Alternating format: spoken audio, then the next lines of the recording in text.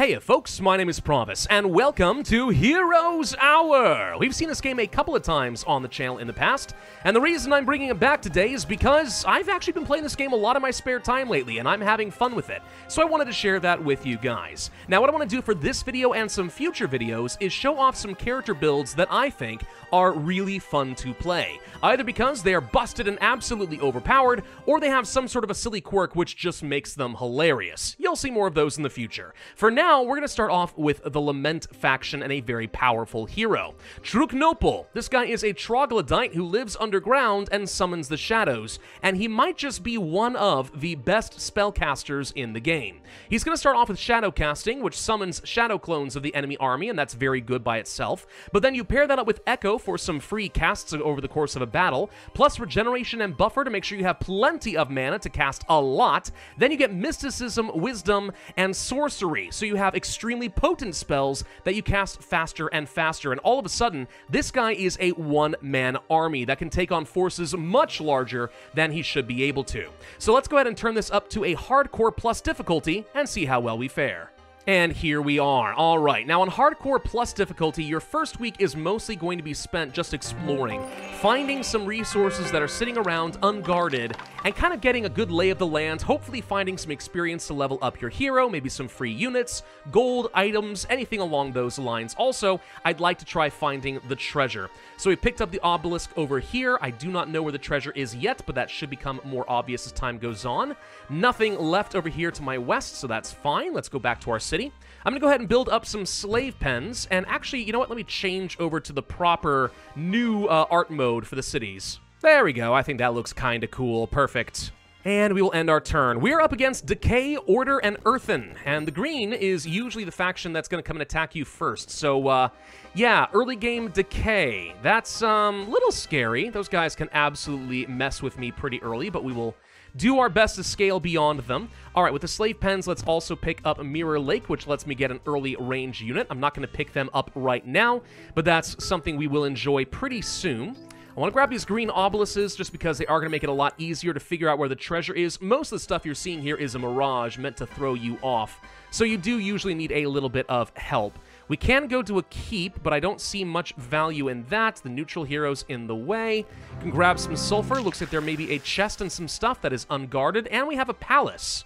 Good. Pick this up. We get extra units, and we'll get extra defense and extra gold production. Those are good, but they are a little bit too difficult to deal with right now. Let's grab the Seed of Darkness so I can get myself the Blind Acolytes. These guys are pretty good. By the way, Acolyte is misspelled. Uh, this is pretty awesome because when they kill enemy units, they summon a new unit to replace them that fights on your side. So they kind of help grow your snowball a little bit. And actually, if you've never seen this game before, it's very much like Heroes of Might and Magic 3. And the point is to snowball out of control, right? The faster you can build up your snowball, the more you can preserve your snowball and disrupt the enemies with spells, that 9 times out of 10 is going to decide who is going to win the game. Uh, Ritual Circle. Okay, we can go ahead and visit that and try to capture it. That could be nice. What else we want over here? Um, we could pick up the Slithering Cave and get ourselves some more units. I could go for a tavern, but I don't think an early hero is going to help me much. So let's pick this up. I would like to get the mutant trogs. Those guys are pretty good. And usually by the end of week one, this is what you want to see. This top row filled in, ready to grab all these units this week and next week. With that, you can then start fighting and claiming stuff in your territory during week two, by the end of which you want to start thinking about how you're going to escape right, and get into the neutral territory and take the fight to the other players. That is, of course, assuming you've snowballed enough, and some characters are objectively better at doing that than others. Some free Spiritists, well, I say free, they cost money, but sure, all right, we'll go ahead and take some early game units. Those are usually going to be good for us. There are hovels over here. I'll pick those up and get some Trog Zerkers. Okay, because I found a bunch of free units, I'm actually thinking I totally could go for some early aggression if I want to. So knowing that's the case, let's start by picking up the infirmary so I can uh, get some resurrected units whenever we fight. Then we're going to go ahead and get as many units as I can. It turns out that's all of them and pop them out so that we can send them to go and join my hero. Though actually what I want to do is fight over here. These are going to be the easiest fights for me to take on, so maybe we will stay put. Alright, well that could be kind of fine for us. But yeah, uh, okay. Now, I think, by the way, the treasure was close to what I thought was a church. It might be up over here. Let's take a quick look this way. I see some more stuff that is currently open, but all right, next turn we're going to go down here, pick up all these units and stuff like that. What else we want to do? Probably get the blood cell. This means as we start losing some uh, units, We'll start building up some power that make my range units, the Watchers or the upgraded Nightmare version, a bit stronger for the rest of the game, which is pretty solid. Medical School will let me save even more units, or I could get more Mutant Trogs or some defense. I think I'll take the Medical School. Again, it's all about preserving your Snowball and building it up as aggressively as you can. So I'm pretty happy with this current arrangement. Do I want to go up over here? If I wanted to, can I reach? I can. Let's go ahead and dump all the units on my hero. We need to take some fights. We should be able to fight over this without too much issue. Melee units up here toward the front, range units back here where they're going to be more or less safe. And let's take a look at some of our spells. So we have Shadow Casting, like I said, it costs 4 mana.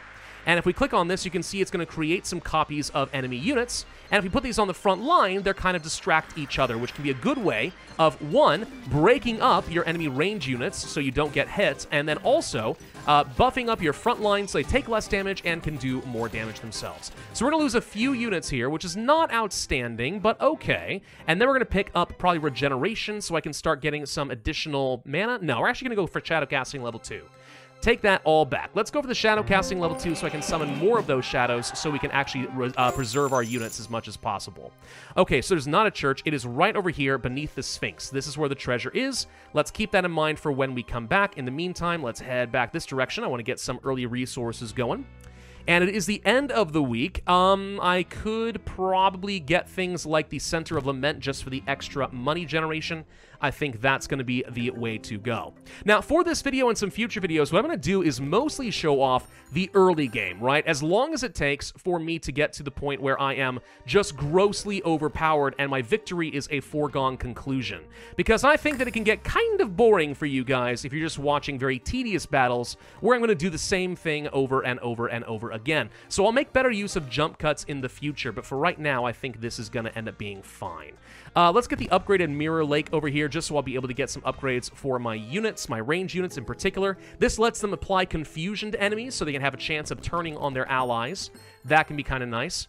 And as a tip, by the way, when you're going ahead and do some fights, the uh, ore quarries and the sawmills are usually going to be the weakest defending armies at the beginning. So if you need to farm out some early XP, these are going to be your primary targets. All right, let's go ahead and shadow cast right here with the zombies. That's going to distract them pretty well while I get in here and start doing a whole mess of damage, which is exactly what you're seeing right now. With any luck, we will take no losses. That's not a guarantee, but it can happen. There we go. No losses. Perfect. We get some XP. Or grab the quarry. Good. Do that again next turn with the Children of Midas. What else we want to do? Well, I probably want to pick up the Monolith. The Monolith is a pivotal part of this character's build. Every time we cast a spell that costs mana, we gain some spell power for the rest of the week. It resets at the beginning of the next week. But this can mean that my character can easily have 30 or 40 spell power in a week once I have enough mana to spend. And every bit of spell power increases the strength of your spell. That means more shadow clones so many that after a couple of casts, your map is filled with shadows and the enemy is completely overwhelmed. This is going to get crazy. Trust me, I've done this a few times with this guy, and it's very consistently good. Let's go ahead and fight the Children of Midas. Good thing we have a lot of small units. Their Midas Touch can get very annoying very quickly, but we'll go ahead and distract a few of them. The only problem with shadow casting right now at this stage of the game is it's a little bit slow to recharge, which can be a little irritating.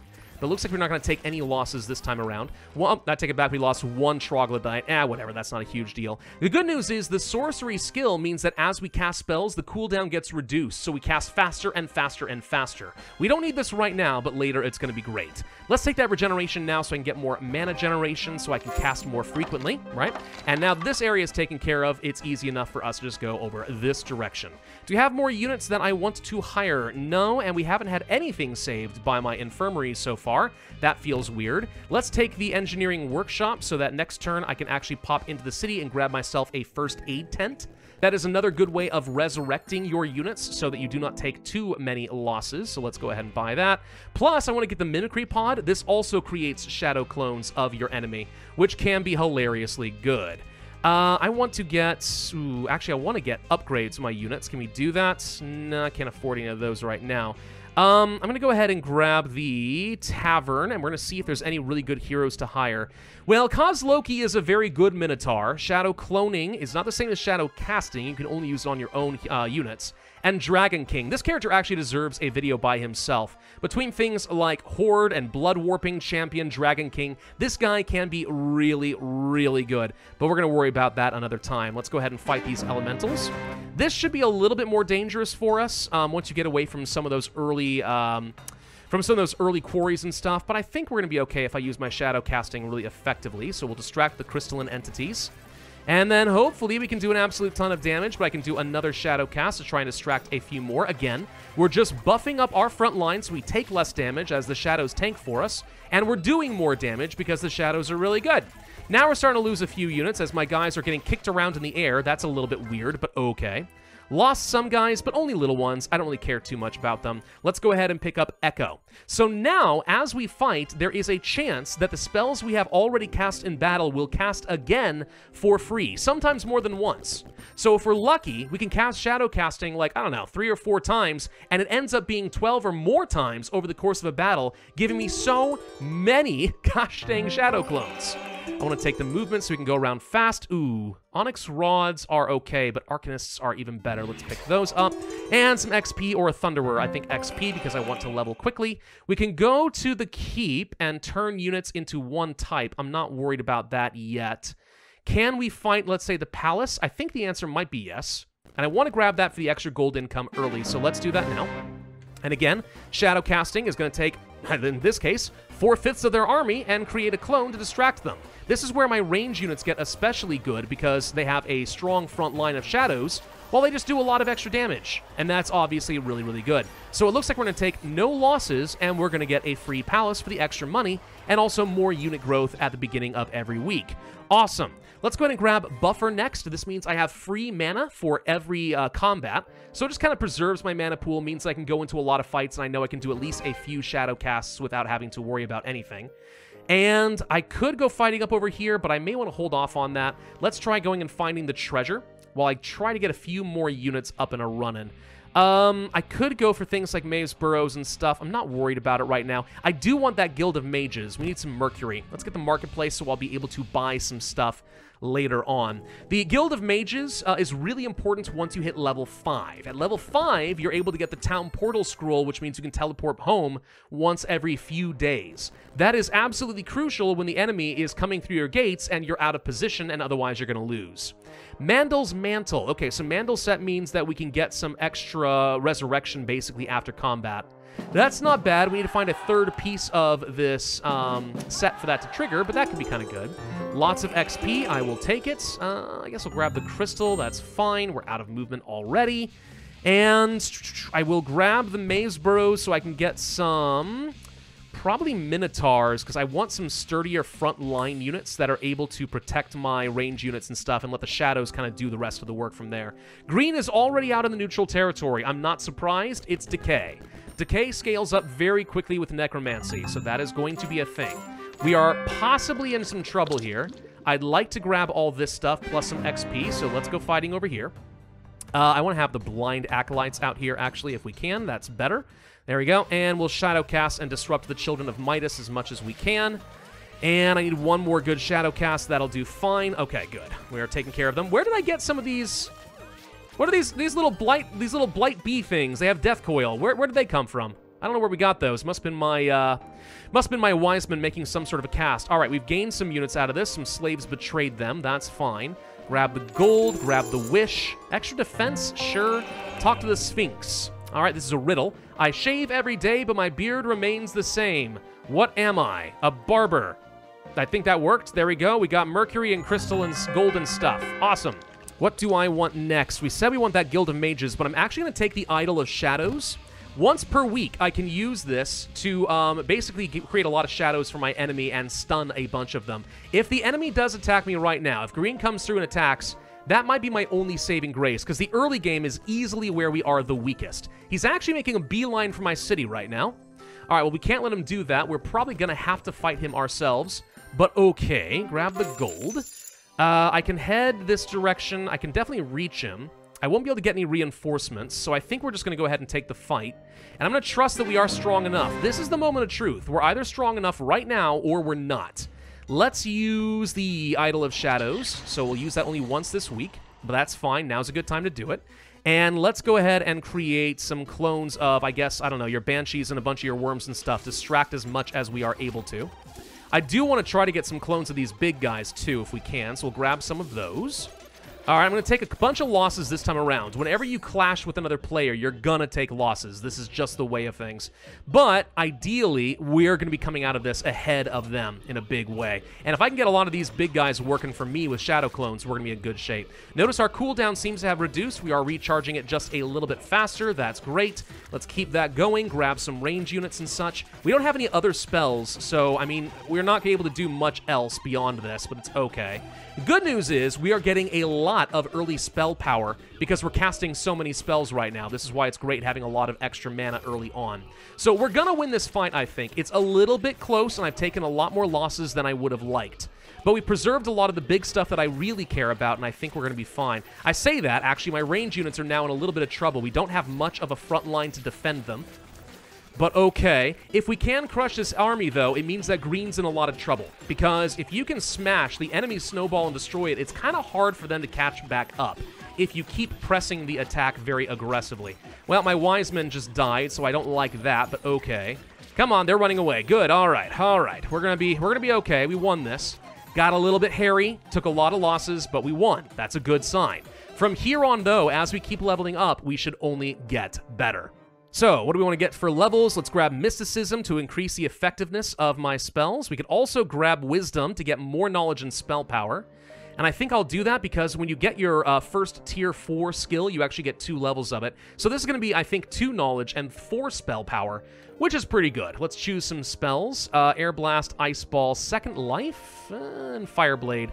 I think I'd like to take Fireblade plus Vulnerify, Health Blade, Beam Frost, Swift Retreat. Let's go for Vulnerify, which can um, kind of weaken all of my enemies. There we go. All right, now we go into the rebuilding stage. Head back to the city, because we need to get all of our reinforcements, and then we will conquer the rest of my territory. And I'm not gonna lie, it is really bad that we lost as many units as we did, but we are gonna be okay.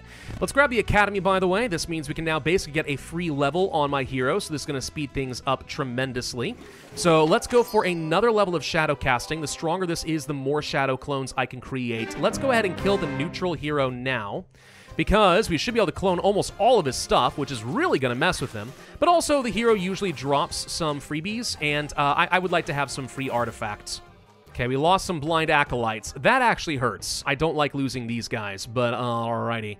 And you were to drop a chest with some XP and stuff, plus leather gloves. Eh, that's not good enough. Oh my gosh, we're fighting dragons. Okay, wasn't expecting to actually deal with a dragon over here. Dragons can be super deadly, so if we can get some shadow clones of these guys, that's to help me a lot. Let's keep doing that, get some of the whelps on our side. Uh, we've lost a few units here because dragons be scary. I'm not going to spend the rest of my mana because we're actually fine. Lost 16 power, killed 236. That's pretty good. Let's go for some more regeneration so I have more mana to work with. And then go ahead and claim things at the gold mine, and I'll go do the same thing for the Mercury Lab. And also the Tower of Mages. Ooh, boost for spellcasting.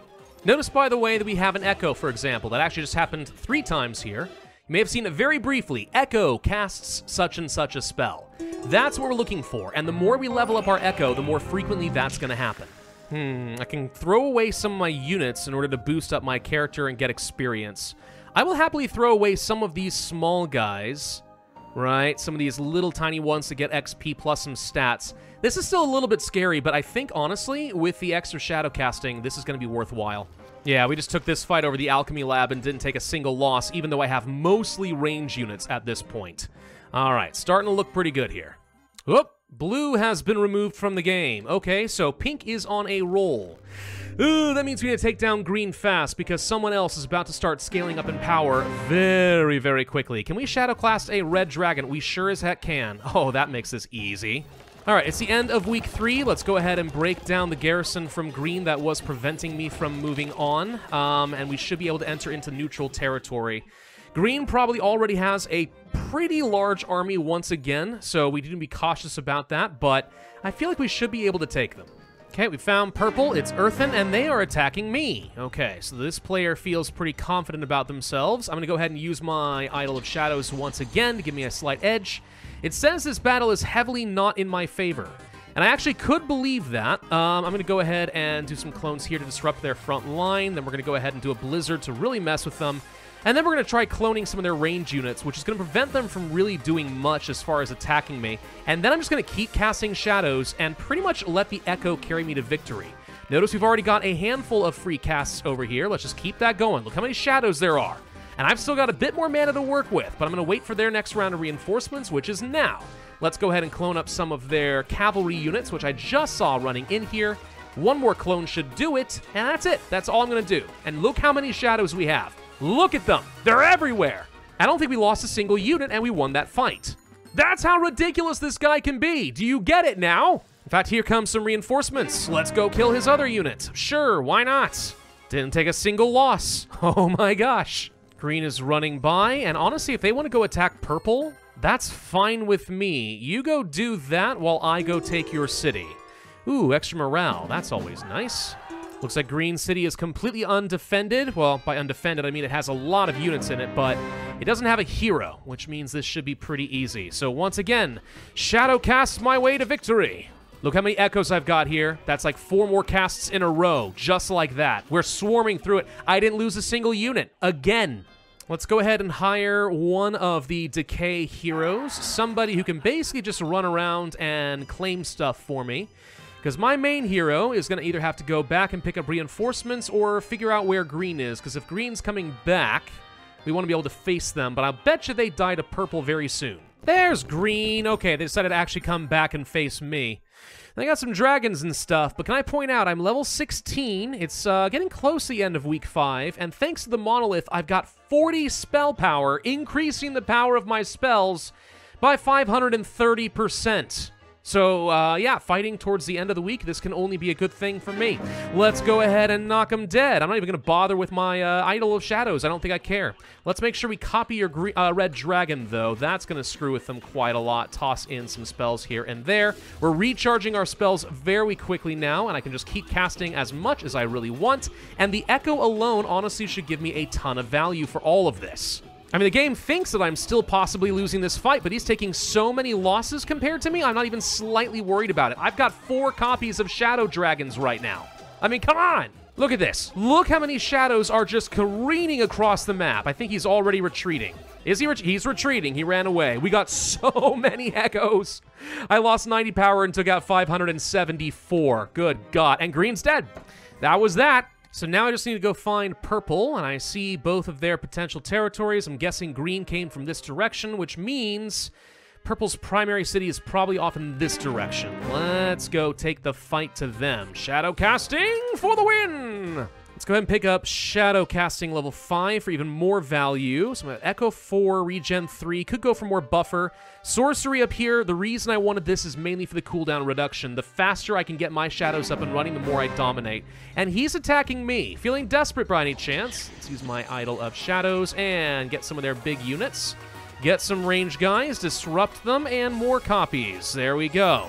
Echo is amazing for any sort of a summoning build. Under any circumstances, it is so good. Especially if you can do something like get Summon Horrors as a spell. Because they're some of the best units in the game, and you can have an army of like 30 of those things rolling around if you're lucky. I mean, I only cast Summon Bone Shooter, I think, once or twice, and I've got so many of them.